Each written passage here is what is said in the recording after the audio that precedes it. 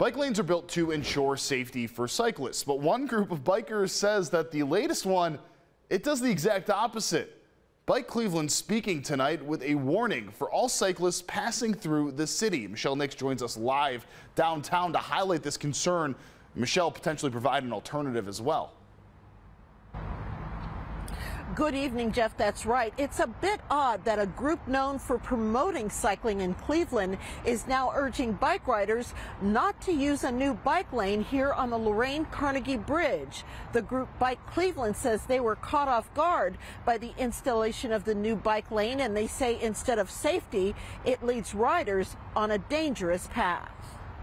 I love the fact that there's a bike lane, but then once it goes into that shared traffic, it's a little unnerving because you have such busy traffic going back and forth. Christina Ziegler of Brecksville and her partner rented bikes to ride from West 25th to Progressive Field, and that includes traveling over the Lorain Carnegie Bridge.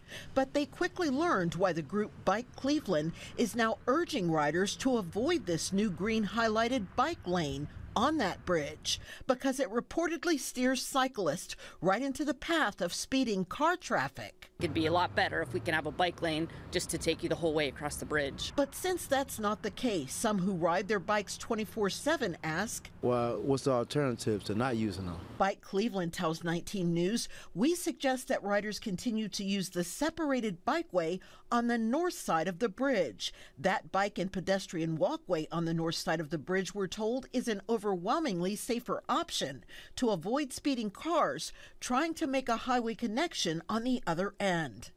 Riders should carefully merge into the left turn lane or do a Copenhagen left at West 20th to connect with the bikeway. The Copenhagen left is a two stage turn where you ride most of the way through the intersection but then stop, turn your bike in the direction you want to go, and wait for the green light to proceed across Lorain and onto the bikeway.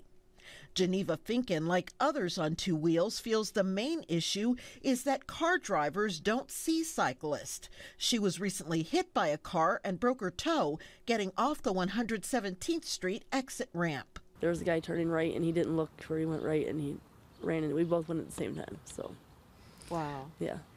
It was uh, kind of scary. Scary is exactly how Bike Cleveland feels about the new bike lane on this bridge that could initially give riders a false sense of security.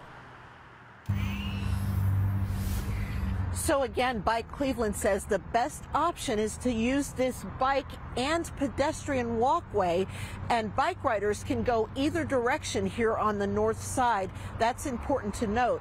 Now they have also approached the city of Cleveland about removing that bike lane because they do believe it's dangerous. The city of Cleveland is considering putting up signs to warn bike riders. Reporting live in Cleveland, Michelle Nix, 19 News.